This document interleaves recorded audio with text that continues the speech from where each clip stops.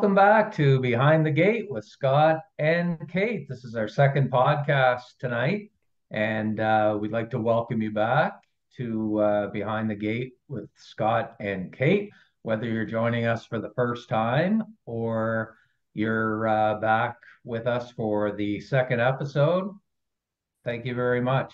In this episode, we have a captivating lineup of some young individuals you may know throughout the industry that are joining us today. Grab your headphones, settle in, and let's have a chat with some of the uh, young and budding stars of the uh, mini horse racing series that's coming to the Maritimes this uh, this summer. And I'm of course uh, Scott Waddell here with uh, Caitlin Wesley, and we'd like to thank our sponsor as well, Advanced Appetite, the sponsor of our podcast tonight. So uh, take it away, Caitlin. Awesome. Thanks, Scott. Yeah, we're excited that we have um, a couple of uh, young mini drivers on board with us. Um, if you haven't seen them at Charlottetown, you might have seen them in Truro. Um, they were so much fun to see. They were exciting. They brought a lot of thrill to the harness racing industry. So yeah. let's uh, kind of dive in and introduce these guys.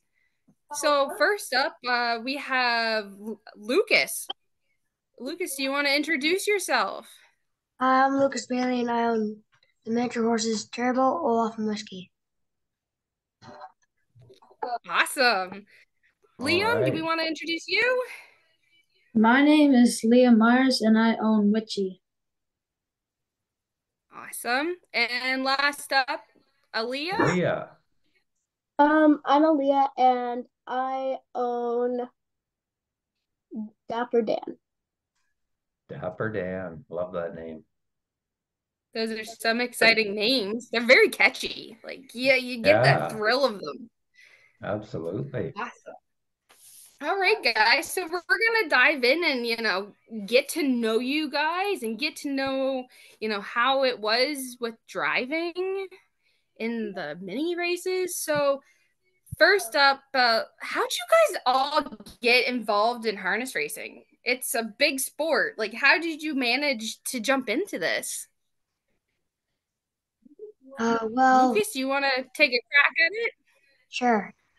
Well, my whole family was uh very involved in horse racing, so it's kind of just bred in me. That sounds about right with you, big guy. You seem to be around the track a lot. He comes yeah. by it naturally. His uh, his dad was a, a young gun in the Maritimes. Yeah. I remember your father driving. Yeah. How about you, Liam? Liam? How about you? Probably, I'd say my dad and my brother were big into the sport when I was really young. Awesome. Okay, and Ahlea. Um, my mom and my stepdad and my mom's friends. Yeah, it must be interesting to have a mom that's so into uh, horse racing.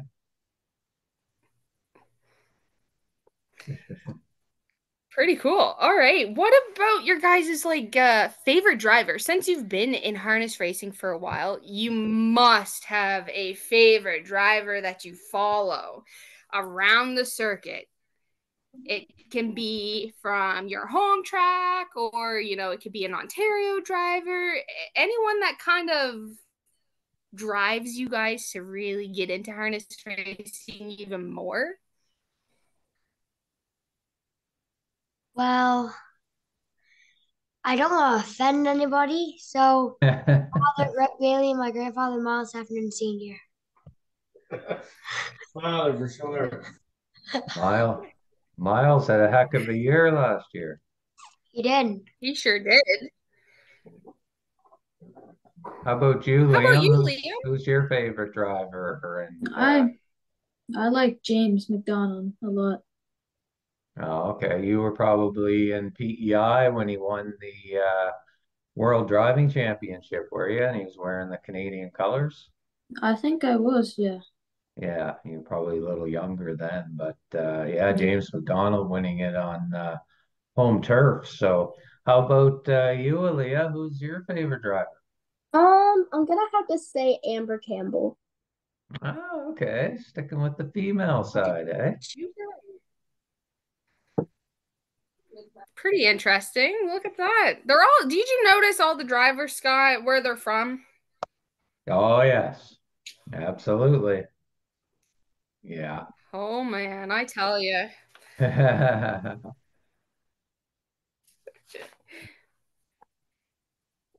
So, if you guys are into harness racing, you guys must be, you know, at the track on race days. Yeah. Who do you guys usually help out? Or do you have your own stable that you guys race out of? I I usually help out my father and my grandfather on race days, or if anybody needs a little helping hand, I'll help them out. And on, how about you, Always Liam, on race days? What are you do I- normally doing? I'm usually helping out my dad with um a lot of the helping them get ready and stuff. Okay, good. And what about Ahlea besides chasing her mom around? Um, I usually help the Renison stable. Oh, do ya? I hear uh, I usually Ren- never get to see her race day. Oh, I suppose she's probably uh, busy beaver at the Renison Barn. They get so many horses racing. Oh yeah. There, she's Yeah. pretty steady, it seems. Great spot to be for sure. I'm gonna ask you, Lucas. Uh, we'll start with you. Who's your uh, favorite horse? Do you Uh, have a favorite horse? Yeah, I do. Check your chip because my first ever standard horse and Turbo, my manager horse because we go way back. Okay, right on. How about you, Liam? I'd have to say Acrobat Hanover. He was one of the first horses I've ever owned. Yeah, he raced extremely well when you guys uh, got him. I watched him over there all home week and uh, really like that horse, classy fellow. Yeah. And Ahlea, who's your favorite horse? Hmm. Probably from the Renison barn, I'm guessing maybe, unless Uh, it's your mom's. it's hard because I have a lot of favorites. Yeah, I do too. Top two favorites are Victoria and Amelia and You Bet I'm Watching. Oh, okay. Excellent, excellent.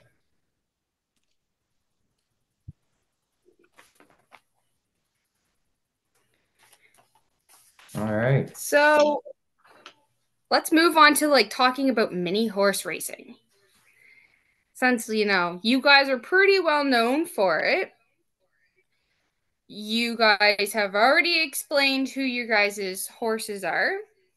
So when you guys go and race, is it kind of like a normal harness racing gig or is it totally different?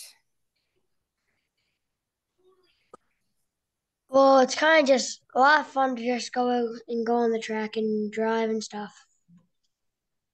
Yeah, it must have been something uh, racing in front of uh, people. I know in Charlottetown, uh, it was quite a hit over there for sure, and it was kind of it was a hit everywhere. But um, you know, that day you kids went in Charlottetown, it was uh, it was something to see, especially with Vance announcing too, was a was a nice added touch. How about you, If you Liam? could How pick do a you? track to Yeah. Um, it's really fun. We, we get to race against our very gr- good friends. Do you guys hang out like uh, you and the other guys when you see them around the track? Yeah, a lot. Okay, good. And which track would be your favorite to uh, race your mini on? Woodbine. Woodbine. Oh, you're thinking big, Lucas. I love it. Got any connections? Oh, you never know. You never know. Never know. That would be something to see up there for sure. How about you, Liam? Woodbine as well. Woodbine? Ah, and Ahlea. I'm gonna have to say Woodbine as well. Oh, wow. Well, I hope somebody from Woodbine is listening. That'd be a great promotion to have you kids go up there and show off your stuff. So that would be great.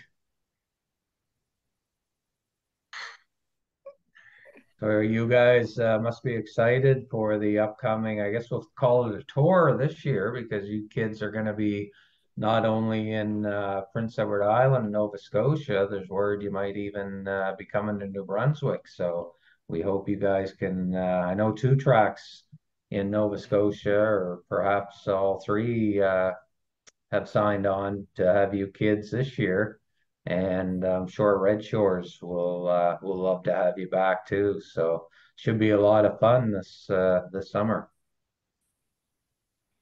Yeah, I there was a there's three of us, myself and Lucas, your mom, Sam, and Laura, which would be Hudson's mom.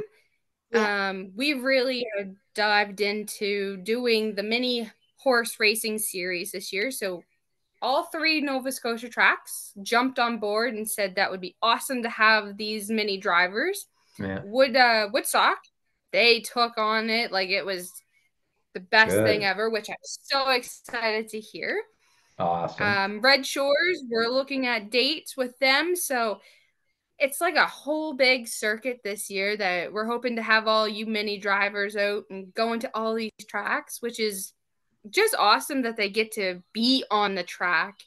Um, so it's pretty awesome. We're uh, still working out some kinks, but there'll be posters and more advertising coming um, once more things kind of get situated. But it's looking like a big circuit for you guys this year.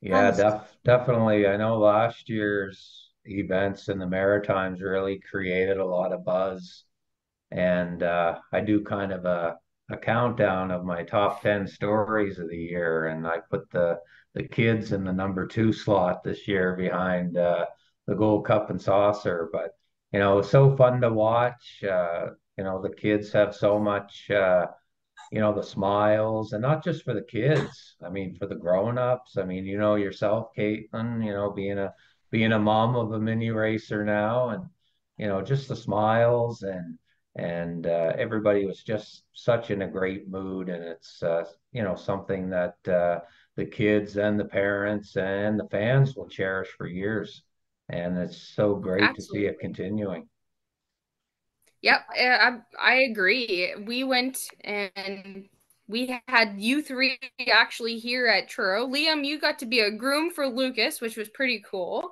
for the very first mini race we had. Oh, that's cool. And then we had went to Charlottetown and Luke, uh, Liam, you actually started to drive your own mini. So you went from being a groom to having your mini, which is so cool to see. But it was so exciting, just the atmosphere with you three kids, even with everybody else. It was just so exciting. They were there to help each other. They always pumped each other up no matter what happened on the track, yeah. right, Lucas? Yeah. Like almost that telephone pole situation. Mm. Ahlea, you kind of had the same situation. but it's still everyone still had fun. no, that's that's the main thing of this, uh, Caitlin, and I know the kids will say the same that it's uh, just a just a fun uh, group of events, and it uh, it really does create a buzz in the Maritimes. We need more events like this, and um, like you and I have talked uh, many times, Caitlin. You know these people that we're talking to tonight, and other young people in racing. They're the future of a, uh, of the industry. So we've got to keep them engaged, and having something like this really uh, really pays off. I think for us. Oh, a hundred percent. Last question for you guys. I know Lucas and Ahlea might have a really good answer for theirs, but um, if there was something that you could change about last time you drove, what would it be? Staying clear of the pylons.